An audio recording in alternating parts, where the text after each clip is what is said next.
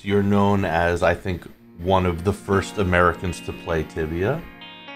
The GMs definitely. There was a, a couple of them that didn't didn't like me. Chat. Oh, I see. Okay, so we do that. Interesting. Alrighty then.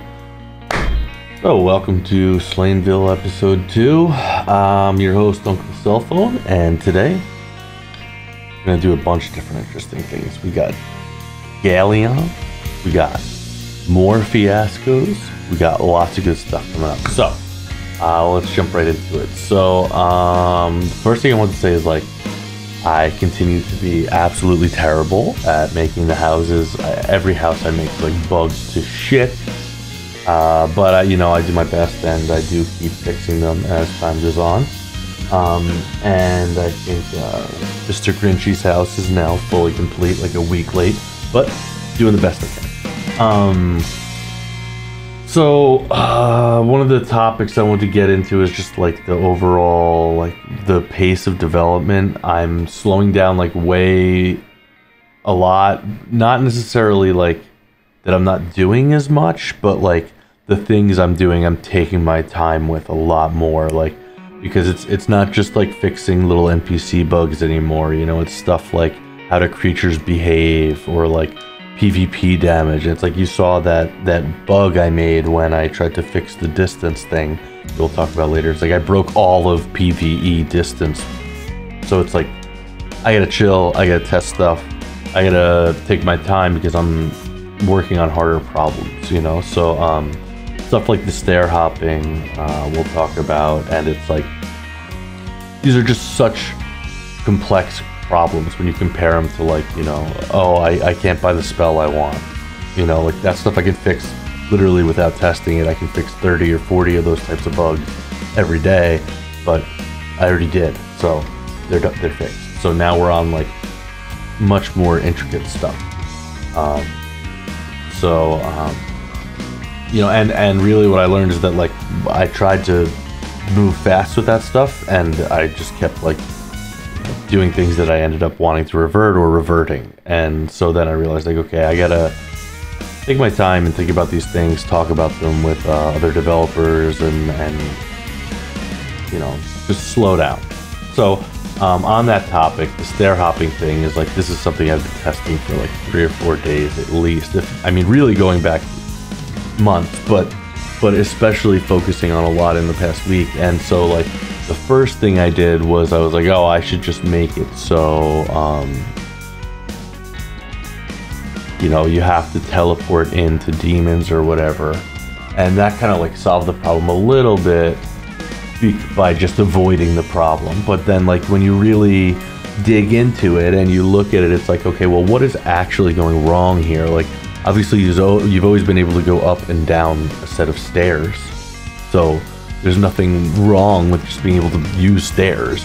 Um, so what is really the bug? And so the more i thought about it the deeper i looked at it what i realized that the real bug is that uh, when you go back up the stairs away from the creature the creature's supposed to keep running all the way to the bottom of the stairs. So that that way the next time you go back down the stairs it's just right there and it kind of eliminates the whole process because uh, you know, like it's a demon and you're a paladin. It's like you you have to be able to block that creature. Like you're gonna take 750 damage one time when you go back down the stairs, and so that kind of just like negates it. And it's the same thing with behemoths or the Black Knight. Uh, the Black Knight, like when you go back up those stairs, back into the Black Knight, you should be facing around 600 damage. If you're not, that's a bug. Um, and for behemoths, I think the number is more like 550 or 600 um, because they can melee you. All these things can melee you and throw something at you or whatever. Um, I think a demon can hit you for like 420 with a GFB and melee you for up to like 390 or something. So it can really, it should be able to just wipe a lot of characters. Um, anyway, so uh, with the creature AI, they should be right down there when you get to the bottom of the steps. And what we realized not at all how it works. What it does is it actually takes about a half a second to even start coming towards you, and then the second you disappear, he just it just starts dancing around in a random direction. And so um, a random direction, um, you know, at first I thought, okay, well, it's going in a random direction. That's not so bad. And then I, you know, if you really think about it, if the creature has a chance to run in four directions, probably only one of those directions is towards you. So realistically, the creature has a 75% chance of running away from you, which benefits you, and a 25% chance each time it moves uh, moving towards you. So what this adds up to is that when you go back up the stairs, they're dancing away from you. It's not what we would call like you know random motion with respect to you because of what I described. So um it all adds up to the fact that this is like severely bugged. And so uh, my first thought was like, oh, I'll just go in and I'll just like find a quick way to make it so the creature runs all the way to wherever it was going. Uh, and so that was like a thousand times harder than I thought because these things actually have to calculate their new path every tile. So they actually only ever calculate one tile of path. And so the end result is that when you reserve, remove their target, they just stop. I don't know if this is the way old Tibia works, but it's like deeply ingrained in our system. So um, rather than like spend weeks and weeks on this single problem that probably I would break all creature AI, um, I tried to do a couple things that were like just little tweaks. Absolutely none of them worked. Um, I tried to make it so they just don't dance around when you're plus one or minus one. Um, but they're so fucking stupid that um, if they don't dance, they also take like an extra two seconds to start running towards you. So they really just you you could stair hop them and they would just never move. So that didn't work either, you know. So this is all just getting to the point of like, you know, I'm hitting these harder problems, trying to focus more deeply and more intently on them. Uh, and what I'm realizing is, you know, that they aren't as easy to, easy to solve and like it's one of those things where you actually learn the wisdom of something you revered a long time ago. So what i learned is that like actually the best system is just to increase the stair exhaust which is what we started with to begin with. The way uh, the server started out was with two second stair exhaust and so um, the argument against that was that um, it like would be cancer if you're like trying to run away from someone higher level than you. Uh, but what I realized is that, that this exhaust, this stair exhaust, it's only for attacking. It's not for healing. You can go down the stairs and immediately you'd have a Lux or heal. You just can't shoot an SD or a bolt. So this the problem was already solved, and we fucked it up by thinking we had the wisdom to remove uh, the stair exhaust. So all that uh, being said, where we start from is uh, we had a 200 millisecond 0.2 second stair exhaust. That was how we've had it for the past like three months. Um, originally it was two seconds, so 2,000 milliseconds. I've increased it from 200 milliseconds to 750, so it's still less than half of the the two the two seconds. Um, but I think that this is like a perfect medium where you're gonna have to be able to tank some hits and stick around for a minute if you're trying to stair hop. Maybe it should be go up to one second, but we'll just see how this feels.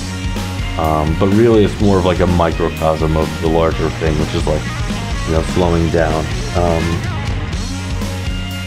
small changes are Royal Paladins. I think I wanted them to be able to do this, but I fucked it up. Uh, but they should be able to make Fireball runes now. The, the, you could buy the spell, but then it wouldn't let you cast it. That should fixed. Um, so another thing that I tried to change and then uh, was kind of fucked was uh, so this is like the subject of a little bit of controversy. If you care, you can find the Pianzo thread on it on OT Land. But um, basically, all of modern Tibia, um, at, at least as far back as anybody's ever really given a shit to calculate anything, distance is not affected by shield in PvP. So if you're wearing a great shield or a wooden shield, bolts are, they don't care. Bolt damage ignores the defense of your shield.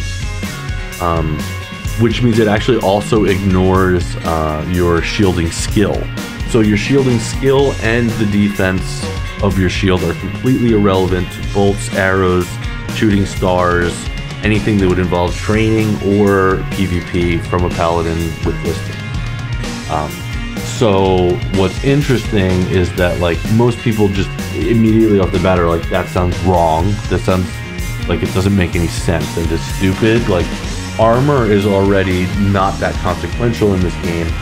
Finding a way to just remove defense from mattering as well is like extremely counterproductive to anybody who thinks items should matter, um, which is everybody. So, um, if you read the thread, Pianto actually proves with old footage, he proves that this did matter a long time ago. Um, so, uh, you know, with these two combined facts, which is that it did matter and, you know, it's stupid, um, I went in and I was like, okay, I can, you know, just make it matter. Uh, it's not that complicated. But the problem with this is that, uh, so like, it's sort of baked into, like, when I made shield count for uh, distance, it worked instantly for PvP and it was fine. But the problem is that, like, because of this, the way PvP is calculated, is that, like, a demon has 300 shield. And so then once that was used in the PvE, you just couldn't hit a demon at all. You couldn't hit a behemoth at all. And I, I think even, like, a dwarf soldier has, like, 90 defense. So the way it worked out was that um, it just broke the math for PVE and I had to revert it. So, um, like, you know, next time I go in and I try to make this change, what I'm going to have to do is make it so I do this thing where I introduce defense as mattering, but I carve out that this change I'm doing only applies to PvP. So, like, um, it's just another example of like the fast, quick, dirty solutions need to be a little bit more well thought out. So I built this. It broke some stuff. I had to revert it. I think uh, basically the end result in the real Slaynville is that uh, I broke distance for about 75 minutes, you know, after server save one night, and it fucked some people. And, you know, it, it, it's annoying. Um, so I'll try to avoid that. Uh, so recent fiascos. Now that we get into it, we've got the uh, the GM is on GM Island allegations. I don't know if I'll ever be able to uh, escape that. Uh, apparently, there were some sort of allegations that I was in Night Watch room. I don't know what that even means. I wrote this down. A lot of lot of um, just crazy conspiracy theories about us, and also just like insane abusive DMs, stalking behavior, obsessive behavior, and cheating behavior from like one specific group of people. Um, all those people are gone. Like uh, it reached a point where uh, they started abusing like people who are volunteers for Slaynville. Like if you're gonna start messaging people who work for Slaynville for free, essentially, and like you know abusing them, then you're gone. You're just fucking gone. There's there's like a hard cut off at that line. Uh, sorry. Um, uh, and not only that, but it's going to be like if you're even remotely connected to that. If I can't tell if you're connected to that, it doesn't matter. You're gone. Um, because at the end of the day, why? Who cares? I'm not dealing with that. Uh, Oh, we did. Uh, we do have Novak leaving his councilness. Uh, basically, I think you guys all know that he was at one point a GM, and then he kind of stayed on as like council, um, even though he wasn't a GM. And so now he's just kind of not doing that either. Um, he's super busy. It's not a big deal, um, but whatever. Um, Oh yeah, we have the uh, the new Boondock Saints Guild. Uh, I think we wanted to extend a formal welcoming. Like if you're in one of these guilds that was disbanded, and you're like, hey, what the hell? I used to have people to play with, and I don't really know what the drama is, but my guild is gone. Just message Ghaleon. I'm sure he'll be welcoming. There's like plenty of guilds, Red Rose. Um, just feel free to reach out if you feel like you know you logged in and the, all the communities you know, that you were in are changed. I'm sure people are you know happy to play with you and stuff. Uh, do do do. Let's see. So we got the JJ interview coming up. Uh, that is really interesting. One thing we talked about is we talked about the kind of like uh, character trading and experience exchange thing. And uh, at the time of the conversation, I didn't even realize, but somebody who is doing some character trading is like literally buying up toxic up people to like help get them out we get and then he's distributing the characters to other people. It's like an extremely selfless thing I think he's doing. So add that on to context on top of what we talk about later, where you know maybe there was some discussion of, oh, is this kind of like good for the server or not? And it's like when you add into the fact that they're literally buying these characters and then giving them away, it's like exclusively the purpose is just to get rid of the assholes. So fuck it. Um, and that's not the only purpose, but whatever. You know, sorry, I shouldn't be so mean. People are not assholes. They're just they're just fellows. Um, anywho, so I guess without further ado, we are going to get into the JJ, the Ghaleon interview. Um, excuse me for yapping up to this point, and double excuse me for the amount of yapping that I'm about to do in this interview.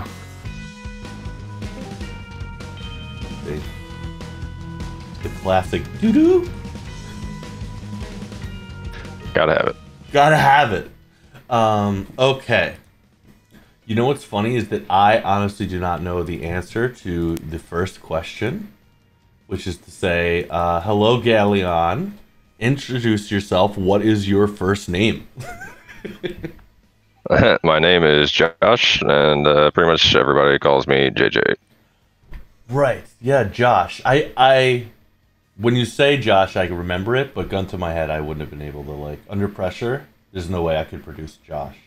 That's a pretty forgettable name. Well, it's just that JJ has been JJ for a billion years. Um, what is your country of origin? Uh, America. Um, so uh, the first like intro question I have here is, um, you're, and to me at least, you're known as I think one of the first Americans to play Tibia. So I'm curious what the story is that brought you to become a Tibia player, how you found it. Uh, basically, I'd played Ultima 6 on my computer when I was like slightly younger than when I started Tibia. And one day I was looking through like a free online game list or whatever. Around page like 50 or something, I saw a game that looked exactly like uh, Ultima 6, so I decided to check it out. And I'm saw that it was like a because when I started playing, which was at least three years later, there was a huge language barrier for me because most of the players were German or Swedish, but there were a few American players and I could kind of click up with them. When you started playing, you must have been the only person speaking English except maybe, I guess, a few British players. Did you play with them? Uh, no, actually, like most of the Euros spoke English. It's just uh, whether or not they would actually speak it to you. Like a lot of them know how to speak English. They just, you know, may or may not feel like doing it. Oh, so you had to prove yourself to the Euros. Yeah, I think most of them really didn't care for the, like Americans in general. So like, depending on the day, you may or may not get a response in English, or you might get something in German, and they basically just ignore you or whatever. That's interesting. So that yeah, oh, because it's like they could. The moment you speak English, you essentially out yourself as being probably American, although you could be Yeah. British. Yeah. Um, that's very interesting. Um, so I'm curious what uh, this is the same question I asked Aries was like, what were your hobbies? It seems like you went from Ultima to Tibia, but like, what were your hobbies before computer gaming as like a young child? Uh, just typical like 80s kid shit. Just going outside, playing in the mud. I don't know, like playing baseball, stuff like that.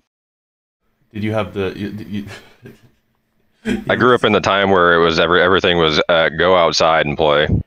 right. Yeah. Like parent parents didn't want to deal with kids, so they uh, just sent you out on your own. Yeah, back when kids were not respected. Back I- when there was uh, no streaming services or iPads to keep kids busy. Yeah.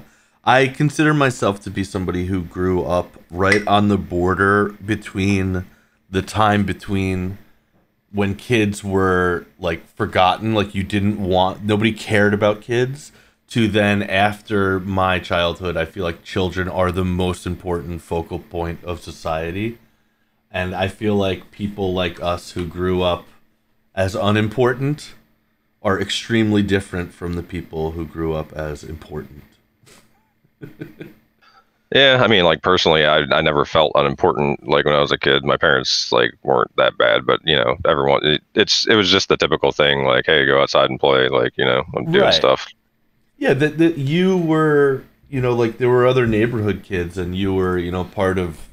I don't know. It's just that your parents weren't so deeply involved in your in your life, you know. Yeah, I mean, I lived in kind of a rural, rural area, so like I had to ride my bike probably like half a mile to get to like the nearest like kid that I knew or whatever. So Oh, that's cool. Um, grew up in the cornfields. ooh, that's scary. You ever get lost? Uh, no, So you just found Tibby on a website. That's uh, I think that's the same way my friend found it. Um, probably the same website. That one that was like freemmos.com. I remember that one. yeah, it was Um, something similar. Uh, I remember it was like right at the same time I learned about Tibia, RuneScape, and like, or maybe not RuneScape, but like several other similar games. And Tibia was actually like the most graphically advanced of them, and that's why I picked it. It's like, oh, this game is actually a game. It's not text. um, Yeah, no, Ultima Online came out like ar- around the same time as Tibia, but actually a little bit later. mhm. And uh, I probably would have played that, except that I think it had like a monthly subscription kind of thing. And uh, back then, parents weren't like trying to give their credit cards out to kids to Mhm. like buy shit on the internet. Absolutely. I had a rich friend.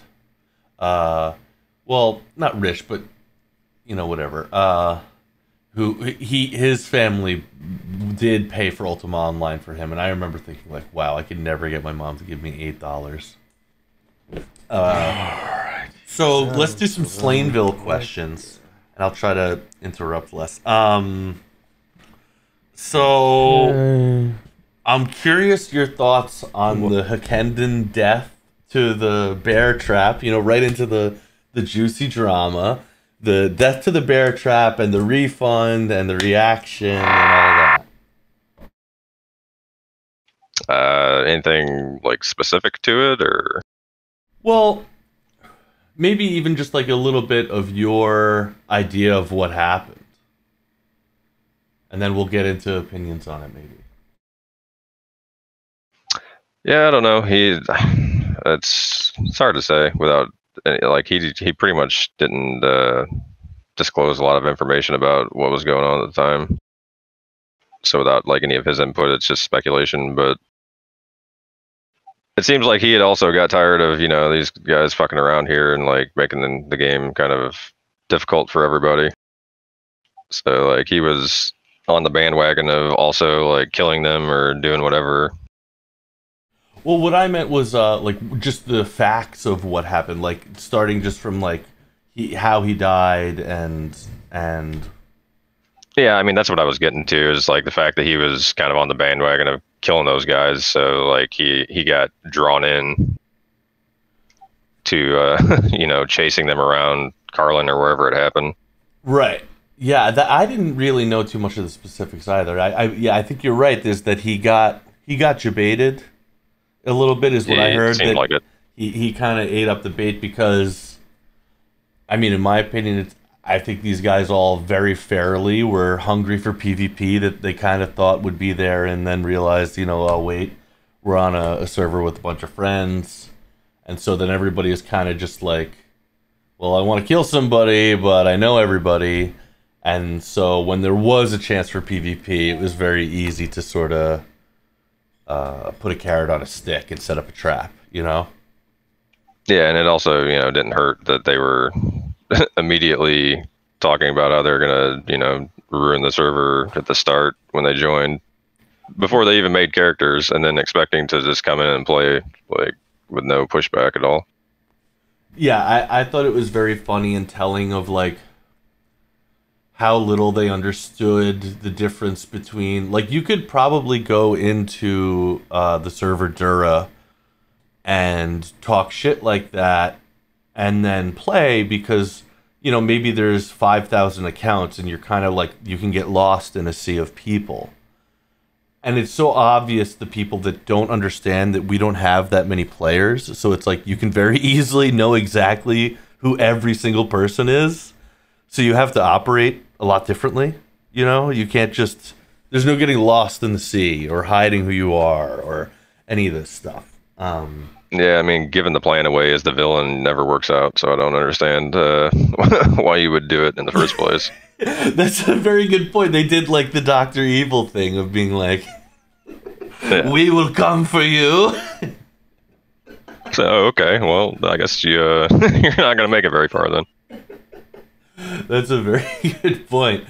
Um, so then he he goes in and he steps on uh, you know, honestly, uh, I don't know, but probably many, many, maybe a hundred bear traps that would do, I think, three thousand damage. So it one shots him. So I'm curious, uh, just somebody other than me's perspective of this bug and its existence in the real. Well, I mean, is it a bug, and did it ever, or d- should it exist in real Tibia, etc., that kind of thing? I would consider it a bug for sure. Like I, I'm sure CipSoft never had any intention of allowing something like that to happen in the first place. It's probably something they just never thought about. Like no one who, who's gonna drag like five backpacks or you know more of traps, set them, and then push them on top of each other and try, try to fucking like get somebody to walk on them. That's like that's not the type of gameplay that they were like expecting to come from like adding something like a trap to the game. I don't think. Yeah, I think it's pretty clear too that uh you know, just knowing anything about game design in general would leave you to believe that you know maybe this isn't good. But um I I'm curious if you have any memory of this cuz I have a memory that this bug existed for about a day when uh traps came out. And that somebody, I don't know who, but somebody died I don't know if it was the day that the trap came out. It was probably just like our server. Three months after there was a trap, somebody figured out that you could do this. And then from that moment to the moment of the patch was a day. That's my memory is that somebody did die exactly the way Hakenden did. Yeah, I mean, it usually takes something uh, something large like that for CIP to take notice. Exactly, yeah and probably somebody with a premium account or something. yeah, somebody um, paying money for their game definitely uh, might have a factor in it. And uh, I did think it was interesting that somebody somebody pointed out like, in what fucking world would CIP ever have refunded the EXP for something like that? and I, I mean, like, oh, it's not actually unheard of for them to do things like that to people that they had like known in real life or met through the conventions and stuff like that. I mean, they weren't the most uh, I don't know moral people either. Like if everyone's a human, you, so you yeah. know. That's interesting. I'd never heard of anything where they because definitely like you know with items and giveaways for sure they seem to be exceptionally heavy-handed. There seems to be a tremendous amount of items that just sort of made their way into the game somehow, you know? and yeah but with refunding exp or levels i do feel like my perception is that they always just told people to go fuck themselves in every because there were so many server crashes. probably to the public facing like part of it but uh, it's it's so easy for them to claim like oh server crash uh, we had to reset things like what happened with Wurzel and getting his like experience and e-plate back and everything.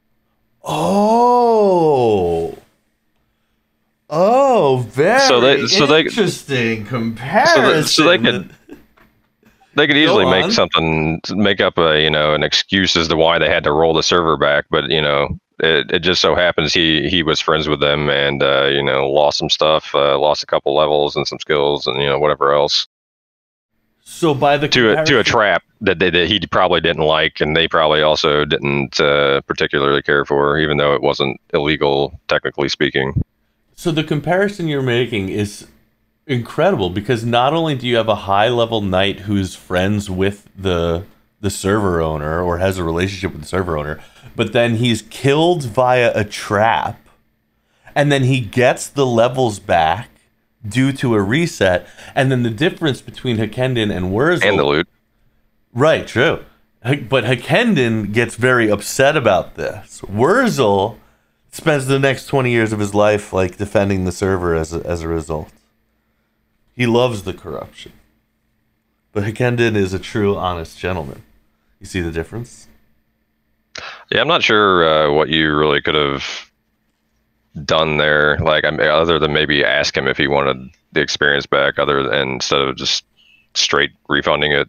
Yeah, I mean that was the, he literally was just AFK and it didn't occur to me that he wouldn't want it. And then by the time I realized he didn't want it, I think he uh he had already turned to the Sith, you know? but that's all right. Yeah, so what's the next thing on uh so um oh yeah yeah well yeah, who wants to talk about that uh, oh here's here's a question that i have i don't know if maybe this is uh, whatever uh, so how do you feel about like the general idea of like the getting exp from kills and is it is there too much experience being transferred by uh, by kills, and does it create a negative impact on the game? I think no, but I'm curious what other people think.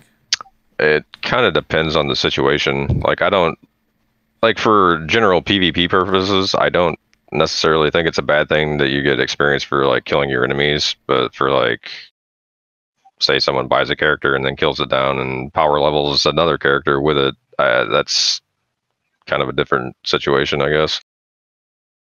Yeah, I mean, I can understand how, as a player, if you were not the one who bought it, you're like, oh, well, that kind of, this guy is getting a leg up. But, like, I don't know, it doesn't really seem to have any negative impact on the server because it's like, you take somebody who was gonna quit anyway and you kind of like recycle them into the ecosystem it's almost like, you know, it's like when a, a tree dies and then it gets reabsorbed. As it falls down, it gets reabsorbed into the earth, you know, as it decays. It's like Uh, yeah. there's the, a the- the Earth, to it. Earth, did, Earth didn't pay the tree for the character though. Well, you know, the, the, in a way. Um, It's I, I don't necessarily have like I don't have a big problem with it, but it can be easily construed as like pay to win, circumventing like you in the process. If, if you get what I'm saying. because it's just as much from your perspective it's pay to win it- like uh, uh, as you being the player who isn't doing it and then somebody else is doing it from your perspective it's the same thing as as pay to win the only difference is that i'm not making money Yeah, exactly. Uh, You're not selling levels, but you know someone is buying levels basically. interesting that is a very interesting But, but again, I don't I don't have that big of a problem with it. I can just see I can see how other people would have a problem with it. Like know. yeah. I i think it creates uh like a little bit of drama and i think that's good so i like it. I think it's interesting. It gives people something to talk about. Because at the end of the day uh, one thing i noticed is that somebody did it recently and um, i was very happy with how much exp- they didn't get too much out of it. So i felt like at the end of the day it's not really a big deal because it's not crazy it's tweaked right i think um, and it gives people something to talk about um, Yeah, it doesn't it doesn't scale to a ridiculous amount of I don't know. Yeah. Um, so here's oh, so I want to ask you about uh, like the server and the players and burnout and I think you have a unique perspective because you kind of took like a one week break, like probably a month before everybody else. And so I feel like every you got to watch everybody else melt down while you were like not you were kind of like in a refreshed state of not having burnout. And everybody else around you all burnt out at the exact moment. So i'm curious what that was like. Yeah i mean i had my own kind of meltdown in the first place that's why i took took the week off but it was uh, every day that i didn't play was honestly it it it made me think of someone who's like addicted to crack and what they might go through like I all I did was sit at my computer and stare at my screen and want to open the fucking app and play the game or the program or whatever. But I you know tried to stick with it. I took I basically took like four days off. It wasn't like even a full week. Damn, so but, uh, other players are going through that right now.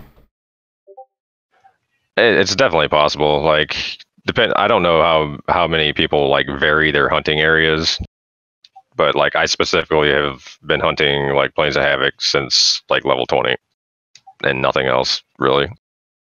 So it does get boring after a while because there's no like variation in what you're doing. Right. Yeah. I mean, so that's that's kind of like related to a question I would ask, which is like how much content should I add to the map? Do you like when I add content to the map?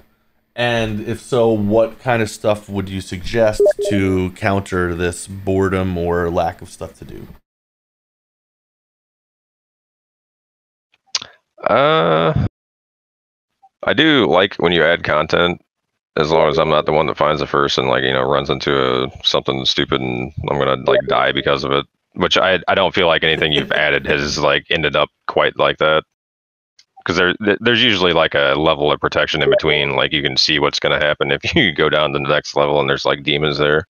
Right. Yeah. But uh, yeah. Generally speaking, it's it's been pretty good. I haven't actually got to do like most of the new places you've added because of like my uh temporary new sleep schedule where I'm like awake during the day and most of the hunts go on at night after I've already gone to bed. Well, I mean, it's good sleep schedule.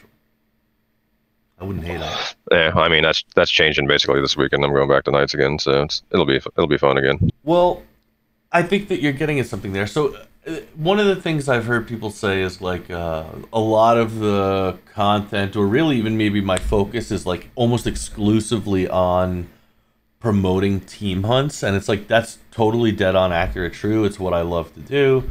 But there's probably like if you're just trying to play solo especially on a paladin there really isn't much to do beyond the plains of havoc i think and i think that there needs to be something and especially at your level it's like you're really going to have to do Plains of havoc until you're able eternity. To, well, until you can solo three Dragon Lords. Yeah, that's the problem. Is there's no uh, there's not a lot of open running areas for paladins. I guess the, like most things are in caves underground. There's not a lot of space to run around, and it's I mean, it's doable, but at the, at that point, it's like more difficult than it's worth in a lot of cases. Mm-hmm when you're making as like when I'm making new hunting areas and I'm thinking about it, basically like one way to think about it is like it's really easy to accidentally make something that is just free experience for paladins. So a lot of what you're thinking about is just like how do I make this hard or how do I make this an enclosed area? How do I take away the way the ability for like a level 20 paladin to kite this? And so I think that you can sometimes over focus on that and leave nothing for the paladins who need that space. Um, yeah, I mean you can. It, it's I mean development is isn't easy. So I mean when you you're trying to develop an area like that, you have to make the monsters dense enough that it's not easy for them to run around, but not so dense that they can't do it, and also not so dense that the experience is ridiculous if they can do it. Yeah. So I mean, there's a lot of balance you have to like think about while you're trying to create an area like that. I have some stuff that I'm working on that will be really good for like level 100 plus paladins, which we're gonna have eventually. But I think that this low, this the, it's like the 50 to 100 paladin. There's like really nothing for you until you can just wipe Venur dragons. But that's not easy on a paladin, right? Yeah, I'm not really super familiar with that spawn. Uh, I may have gone there once or twice, like I don't know, ten years after I quit playing Tibia. You think? Have you been to Deeper Fibula on our server? Uh, not on the server, no. We should uh, we should see what that's like for a paladin near range. Um. Yeah, I saw, I saw, I saw like Shibby made a, a short video about Deeper Fibula, and it made me wonder if I could uh, run through there. Yeah, I want to watch that. He sent me two videos. Um, I didn't actually like watch the. Well, I did watch it, but I couldn't really see it because I tried to watch it on my phone. When I turned it like sideways, it didn't like change the aspect ratio. Um, so here's another question I have: Is uh, if I had just never banned or gotten involved with the OT Raider people at all, do you think we would like what? What would the server look like now if we just like let them run amok as crazy as we we wanted, or they wanted? Uh, most likely, the online list would be like five people playing their mains if they're playing at all. Right, because people like I, yeah. I mean, you basically already you could already see like the levels dip for like any time there's a flare up where they show up and start killing AFKers. Like everyone gets notice and stops AFKing, so there's like not a lot of people on. Because like during the day, you know, most people are at work and they're you know just trying to get some kind of gains out of it while they're being productive in real life. Yeah. Um. Some people aren't productive in real life, so they you know want to come here and cause problems for the people that are. Amen. Yeah, I, I think the same way. I think that our community is too small and fragile for uh, pure chaos to be just injected like at random, you know? Uh, if the switch were always on, if it was always chaos, then it would be one thing, but the on I and off again, it's too much. To, to some extent, they probably would have got what they wanted, which was to ruin the server in the first place. Like it, it was already kind of heading in that direction. It seemed like Yeah, a lot of people like starting to quit or at least log on less, and I don't know. Yep, it, it's hard. I think people don't understand that. Um, you know, a community of fifteen thousand people can almost thrive off of the chaos. It's like when you see people quit, it kind of makes you double down. But that's the same dynamics don't apply to a community of thirty-five or hundred and thirty-five or two hundred people. You know, like No, you make you make a few people quit, and then it's just over. Like the server is dead. Exactly, because once 40 or 50% of people quit, they actually take the other half with them. So, Yeah, I was gonna say the worst part is like even after they run all the people off, they don't continue to play the server either. They just their their intent is literally just to come here and make other people quit so that they can they can be happy with it, and then they just go on to like the next OT to ruin.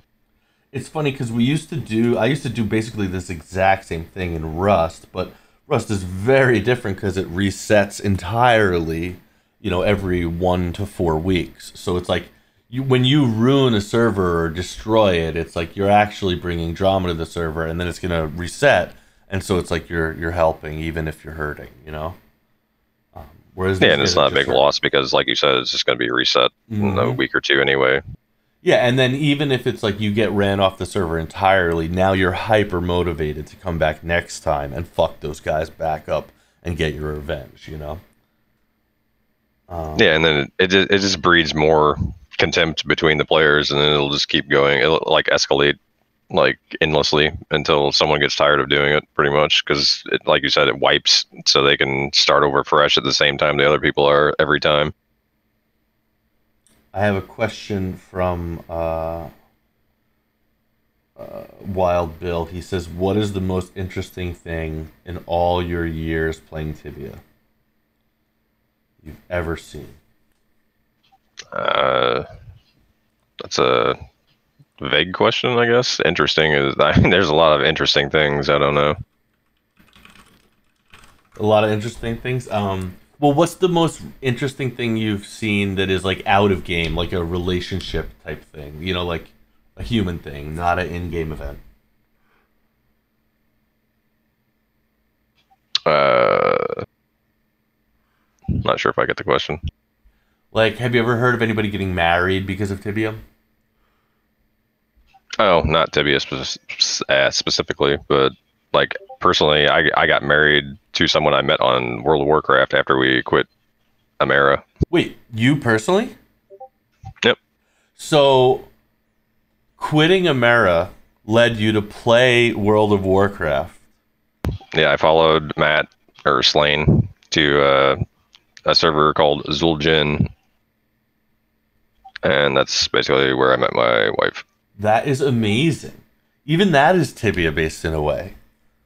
Yeah, because if I didn't know Matt, I would never have played there. So And if CIP wasn't so fucking terrible at managing their game, you would have never met your wife.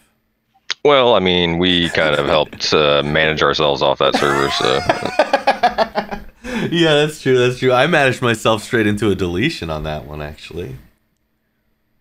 oh yeah, I don't know if I remember that. Yeah, I was actually one of Epic was one of the last Yeah. people to be actually like like very shortly after Epic getting deleted was like an automated system that was like resulted as a number of bans or something like that.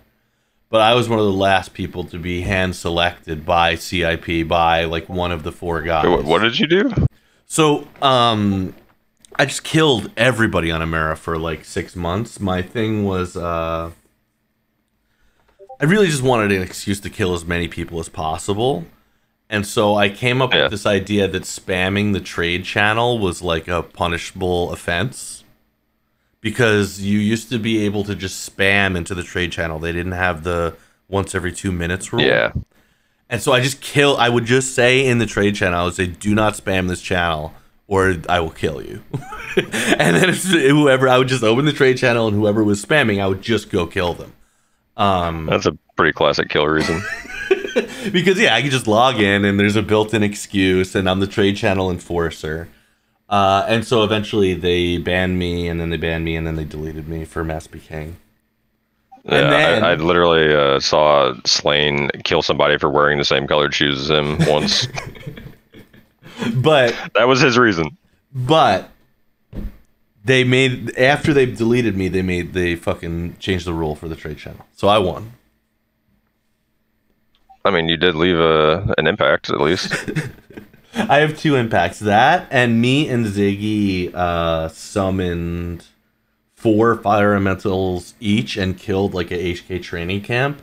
And the next day was the two summons rule. So those are my my two impacts on Tibia, are the trade channel rule and the the summons limit. That's why Slaynville has the no summons limit. Is because the limit is because of me. Yeah, I mean, we used uh, CIP's rule against them as a reason to murder people with the whole White Skull fiasco. Oh yeah, that's That's basically well, like why we got run off that server. Like we ran around the countryside killing anybody we came across with a White Skull while they were training because they were White Skulled. Yeah, I mean, what an idiotic system. It's like, Yeah, free kill. Uh, sure, why not? I think at one point during that part, wasn't it like you could just kill a white skull and you didn't even get a PZ lock, right? That I don't specifically remember. It might have been the case, but but there was no consequence whatsoever. Like I mean, you didn't you didn't get any kind of uh, mark against your character or anything like that. Like you just kill them, take their loot, and go about your day. And I mean, we were in a position where we were like basically the highest levels on the server at the time, so like we, we, no one was really going to be able to do anything about it. oh my god, very interesting. Um, so what is my next question? I have okay, so, uh, okay, so my first question is: How many people do you think know who Hokuten is? Uh, the guild itself, or it's like individual members, or Well, anybody who's ever heard of Hokuten. I'm sure Rainey helped us out with that one. Uh, I honestly am not even sure prior to his video, like who would have known who, who Hokuten was, but I wonder how many. Do you know how many views the Rainy video has on YouTube? uh, not off the top of my head, but I would have to guess at least like you know, hundred, couple hundred thousand. Wait, at least. what? Yeah, it's got three hundred thousand views.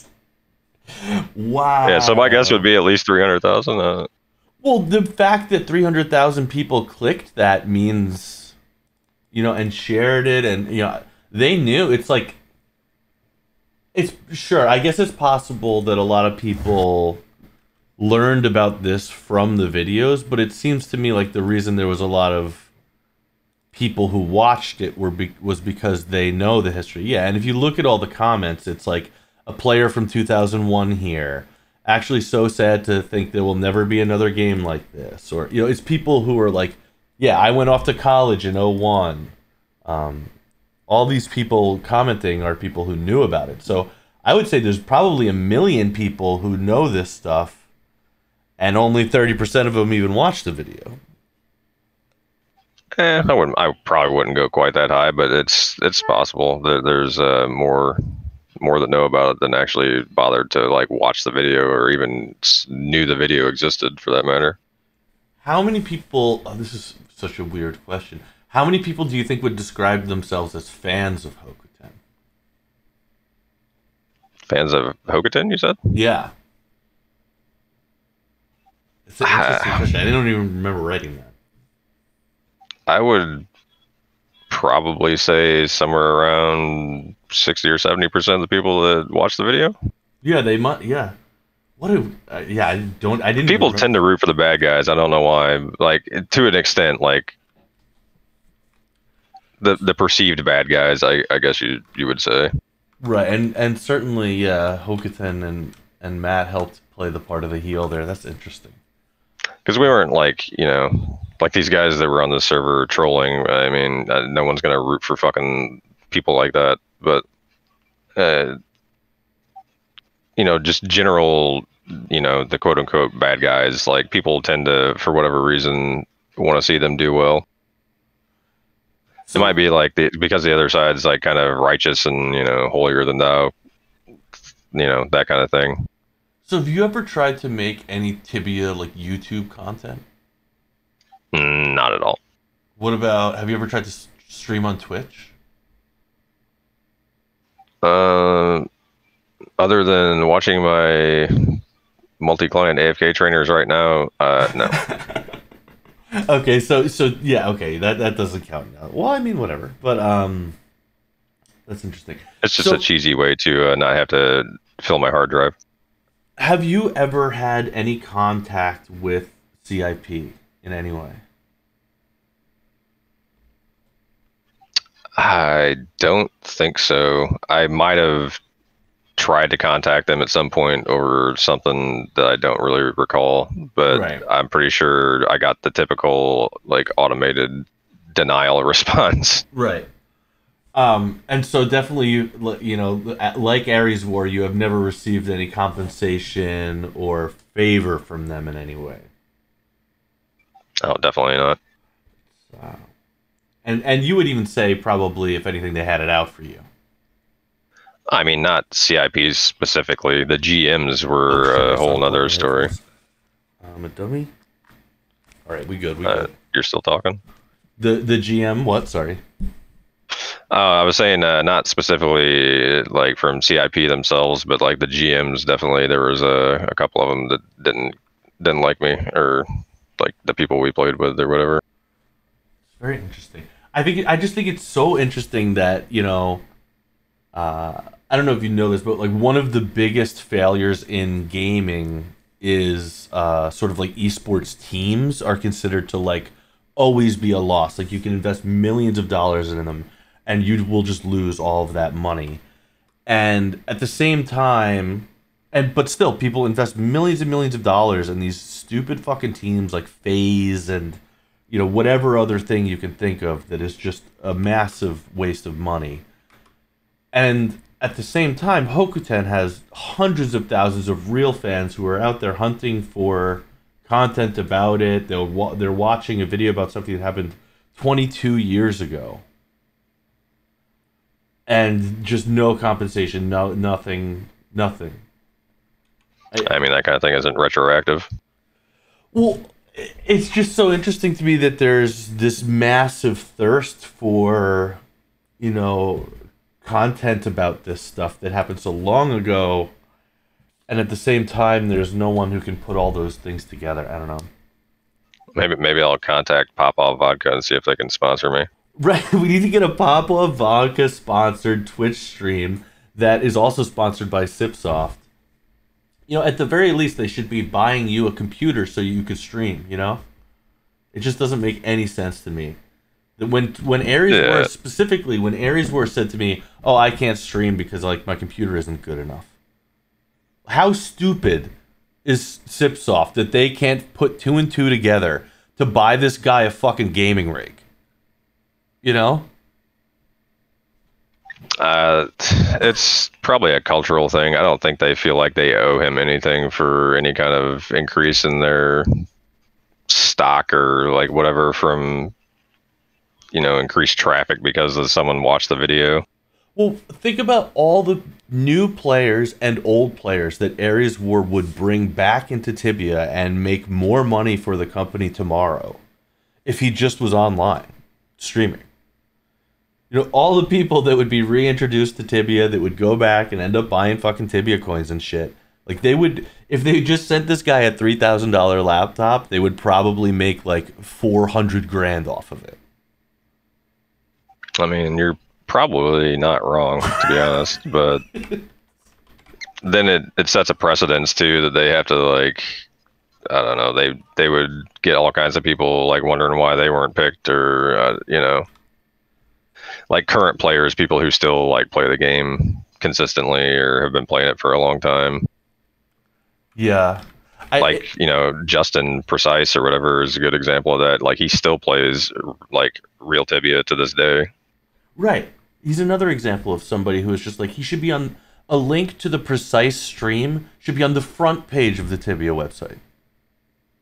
Like look watch the old legends play. This is what like Asmongold sits and talks shit about Di- Diablo 4 all day.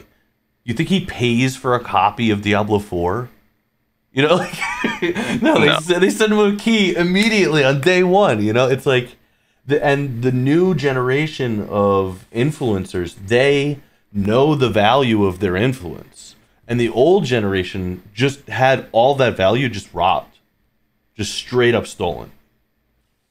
That's- yeah, I mean, it was. Uh, we just came up in the wrong era, more or less. I mean, the internet was like the Wild West when we were playing this game. It was like brand new. No one knew anything about it. Like none of the hardware was good enough to, you know, you couldn't stream back then if you wanted to. Yeah, that's interesting. Is that you know, it's hard to put a commercial on Ghaleon in 2003. You know, you can't fit an ad in there anywhere. But you are an ad. You know, every time when you kill Wurzel, that's the drama. That's everything. You know, I don't know. Yeah, I mean, I get what you're saying. I wasn't even involved in that though. That's true. well, I did like surprisingly little in that war because I was already like, uh, I had like lost a lot of levels from like lag disconnects and just dying constantly because the connection to Germany wasn't the greatest. Oh yeah, I remember you died from like 50 to 44 from like just lag events, right? Yeah, after a while, I I was like just completely done. I think uh, Matt still had access to my character. He might have gone out and tried to fight a couple times, but he was on like 56k dial up, and he also just got wrecked. Made me look bad. Listen, we don't talk about those things, okay? You're a valiant war hero, all right? Yeah, I mean, Um, it's like I said in the uh, interview for the rainy video. Is basically my my biggest contribution to that war was the drop it like it's hot fucking uh, broadcast. hey, well, from you know. from inside a PZ, a dark mansion, by the way. no, you were out on the front. You were in the vanguard. I think is what you're saying. You're in the on the front lines. I mean, I would have liked to have been. Uh, last question: How do we promote Slaynville to the world? Uh, that's a tricky question. uh, really, honestly, not too sure. yeah, me neither. I mean, well, I mean, like probably through you know discords of old guilds from Antica, stuff like that would probably be the most I don't know simple and effective way. Well, if you're listening and you're in an old Discord from Antica, be sure to share this link into there and uh, the Slaynville link and uh, that kind of thing. But other than that, thank you very much.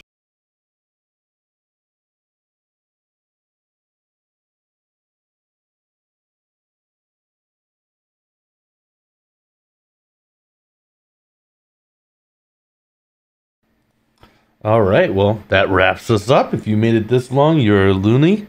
But thank you very much. Please link, share with your friends, promote the Slaynville, and thank you. Thank you all for everything. Thank you, thank you, thank you.